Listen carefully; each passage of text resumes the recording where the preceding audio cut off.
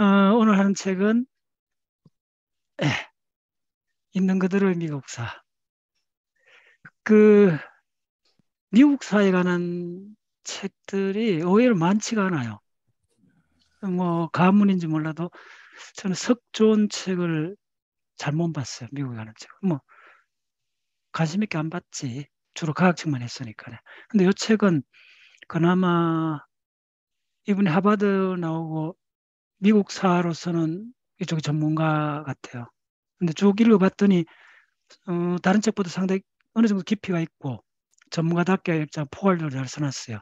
그래서 이런 책은 기, 미국에 가는 역사책이 그리 권할 만한 책이 모르겠습니다. 그렇게 많지는 않은 것 같아요. 어, 미국사는 여러 책을 봐야 돼요.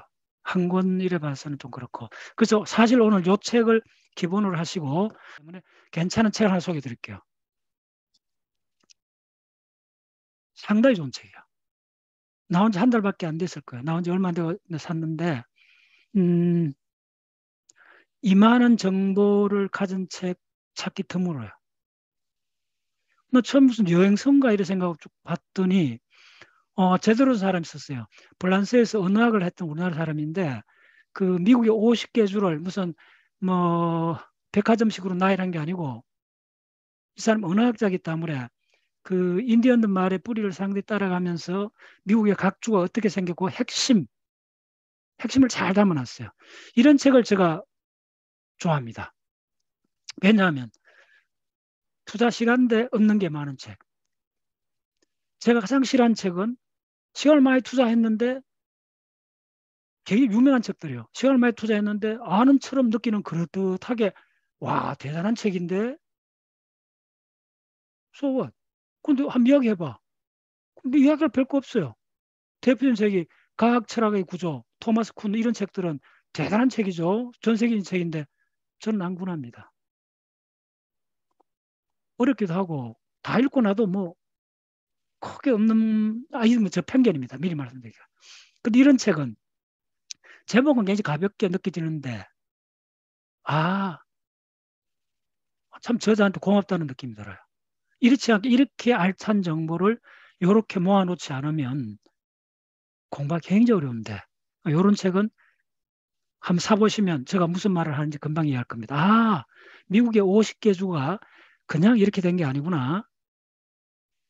그리고 그걸 가장 핵심 언어학자가 이런 걸 역사도 좀 깃들이고 시사도 깃들이고 그리고 결코 가볍지 않고 통합적이고 그래서 아주 네, 호평을 받을 만한 책입니다. 이 책은. 자, 그 다음에 또 한 권의 책은 제가 참조했는 건데 이 책을 선정하려고 그랬어요. 하룻밤에 읽는 미국사. 꽤 잘 된 책입니다. 국내 저자가 썼는데 미국사 전공하시는 분이 어, 상당히 그 핵심을 잘 따라가면서 전체 흐름을 파악하기는 굉장히 좋은 책입니다. 예. 그 다음에 그 미국사 하려면 또 영국사 쪽도 해야 돼요. 영국사 다이제스트 같은 것들. 미국사도 다이제스트가 있습니다. 반드시 구해 보셔야 됩니다. 예. 이책 다시 한번 강추드립니다. 굉장히 좋은 책이에요. 그리고 이 책은 음, 읽고 나면 이 책 저자하고 저한테 고맙다 할 겁니다. 이런 책 소개해 줘갖고. 예. 제가 미국 6년 반 살았잖아요. 석사 박사 하는 동안에 6년 반 보냈는데, 예. 이렇게 그 알날이 각 주마다 뭐가 핵심이고 뭐가 핵심이고 딱 들어있는 책은 어, 예, 유래가 드문 책입니다. 이런 책은. 예. 오케이. 어, 책 소개는 그 정도 하고 어, 한 권의 책 내용을 따라갈 수 있는 게 아닙니다. 미국사는. 그래서 미국사는 어, 저도 뭐 미국사 유, 미국 6년 반에서도 공부 하나도 안 했습니다. 바로 2, 3일 전에도 하나도 몰랐던 내용입니다. 미리 과장이 아닙니다. 2, 3일 전에 저도 하나도 몰랐던 내용을 오늘 여러분들이 그 지난 지난 시간에서 계속 제가 강조했던 부분이 우리가 브레인을 어떻게 효율적으로 쓸 수 있는가? 자기 인생에서 딱 일주일만 유럽사를 공부할 수 있게 허용이 됐다면 혹은 딱 3일 만에 미국사를 공부해야 된다면 어떤 식으로 공부를 해야 되는가? 혹은 딱 한 달 만에 양자역학을 공 어느 정도 대학 수준의 양자역학을 마스터한다면 어떻게 해야 되는가? 단 일주일 만에 brain science를 brain 신경 해부학을 딱 공부해야 된다. 더 이상 시간이 없다 그러면 어떻게 해야 되는가? 그런 한 example로서 여러분들 딱 3일만 주어졌을 때 미국 사를 어떻게 어, 조망을 해볼 수 있는가? 그런 관점에서 제가 설명을 드리겠습니다. 제가 봤더니 그 미국 사든 뭐 이게 뭐 물리학이든 지질학이든 미국사든 다 동일합니다. 다 언어학입니다. 모든 학문은 언어학이고 어, 들어가는 알파벳만 알면 됩니다. 자 그럼 미국사를 볼 때 어떤 기본 모듈이 있는가, 기본 알파벳이 있는가 이건 반드시 알아야 되는 것들이 있다는 겁니다. 그래서 미국사를 봤을 때 어, 자, 첫 번째 미국사를 왜 공부해야 되는가? 굉장히 중요합니다. 우리가 뭐 그거 하나도 몰라도 어, 사는 지장 없죠. 어. 뭐 그쪽 종하는 사람들은 뭐 그러는데 우리가 뭐 미국사 모르는 대학 살았는데 지장 별로 없죠. 근데 그 자리에 만약에 어, 정치가나 사회 오피는 리더나 좀 뭔가를 생각하는 사람 같으면 미국사를 해야죠. 왜? 1차 세계대전 이후로 지난 100년 동안 압도적인 슈퍼파워죠. 지구상의 최고의 힘을 가진 나라죠. 그럼 알아볼 만 알아야죠, 우리가. 저 나라는 어떻게 해서 생긴 지 한 3, 400년밖에 안 되는 나라가 슈퍼파워가 됐는가? 미국이 어느 정도 힘을 가졌는가 뭐 여러 가지 이야기할 수 있는데 오늘 내가 본 자료를 하나 말씀드리겠습니다. 지금 중국이 항공모함 만들고 있죠. 몇 대 만들었습니까? 나오하면가 러시아제 구소련의 거 하나 사왔죠. 그래서 급히 재, 개조했죠. 개조하는데 몇 년 걸렸죠. 어쨌든 작동이 들어갔습니다. 지금 제가 듣기로는 미국, 중국이 지금 항공모함을 두 대 더 건조하고 있다고 들었습니다. 어쨌든 늪하게 봐도 지금 중국이 가동하고 있는 항공모함이 다섯 대가 안 될 겁니다. 다 만들고 있거나 다 해도 찾아보세요. 네, 몇 대 안 됩니다. 서너 대. 그것도 지금 몇 년입니까? 그 소련제 그 이거 저 다시 수리하고 이런 데 해갖고 해갖고 가동하는 전체 4, 5년 걸렸는데도 두 서너 대밖에 가시거나 안 들었습니다. 자 그러면 미국은 몇 년에 항공모함 한 대를 만들 수 있을까요? 지금 여러분들 미국 항공모함이 몇 대입니까? 11대죠. 대략 그런 걸 아셔야 됩니다.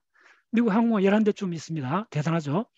11대 대단하다 보는데 그게 대단한가? 뭐 비교할 때 데이터가 있어야죠. 어쨌든 중국이 한 두 서너 대, 영국이 한 대. 자, 남미에 갔더니 브라질이 의외로 항공모함 한 대요. 불란스도 항공모함 한 대요. 그냥 대략 한, 한 대, 두 대 이렇습니다. 중국이 뭐 조만간 한 10년 내로 항공모함이 네다섯 대쯤 될 수도 있어요. 자, 그러면 2차 세계대전 때 미국은 항공모함을 몇 대 만들었을 것 같아요? 한번 캐스해 보세요.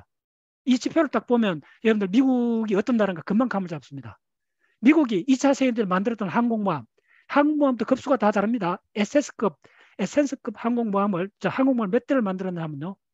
미국이 2차 세계대전 때 만들었던 항공모함 대수가 110대입니다. 미국은 한 달에 항공모함 한 대 만들 수 있는 나라입니다. 나옵니다, 자료가. 썼다. 됐죠?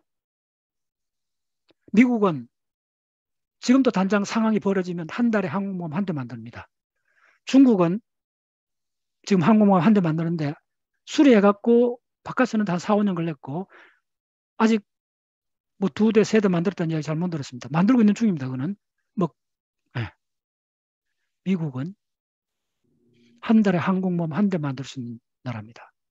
지금까지 만든 항공, 항공모함 대수가 110대가 넘습니다. 됐죠? 그냥 안 만들고 있을 뿐이지 마음만 먹으면 그렇게 할 수 있다는 겁니다. 그래 해왔고 자, 두 번째 미국이 얼마나 강한다는 거 보여드릴게요. 미국 2차 세계 끝났을 때 전 세계 골드, 금의 80%를 미국 중앙은행이 갖고 있었습니다. 됐나요? 전 세계 금의 80%를 미국이 갖고 있었습니다. 이거는 슈퍼파워라도 울트라 슈퍼파워입니다. 그럼 공부해야죠, 우리가. 지금 여러분들 경제학 좀 아는 사람 다알 거예요. 근본이 이제 이야기하잖아요. 미국이 그 기축통화라 그래요. 예. 기축통화라는 게 정확히 중요한 개념입니다. 기축통화가, 어, 그건 반드시 공부하는 분들 체크하셔야 됩니다. 기축통화가 뭐고, 미국이 달러가 어떻게 해서 기축통화가 됐는가. 그 과정은 기본 지식인이라면 반드시 체크해야 되는 기본 중의 기본입니다. 미국이 항상 기축 통화를 공고히 가졌던 거 아닙니다. 위기, 위기 처했던 있습니다. 그때 사우디하고 의사저사 해갖고 달러를 석유값을 달러로만 지불하게끔 협약을 맺습니다. 그래서 기축 통화를 다시 한번 공고해야 합니다. 키신저의 아이디어입니다. 키신저 대단한 사람입니다. 2차 대전 끝났을 때 전 세계 금 보유량의 80%를 미국이 갖고 있었습니다. 미국은 항공모함을 한달 한, 한, 지금까지 100여 대 이상을 만든 나라입니다. 그리고 2차 세계대 독일이 갖고 있던 모든 탱크를 미국이 디트레이터 공장 하나에서 다 만들어냅니다. 독일이 그렇게 많은 탱크를 갖고 있는데 그걸 미국이 단 하나의 공장에서 다 만들어냅니다. 물량에서 2차 대회에서는 미국이 압도했기 때문에 게임이 안 되는 겁니다. 그래서 그, 그런 미국을 알아야 됩니다. 왜 세계에서 저런 놀라운 슈퍼파워 국가가 출연했는가? 그거는 좀 생각하는 사람 반드시 처음부터 하나하나 되짚어 봐야 됩니다.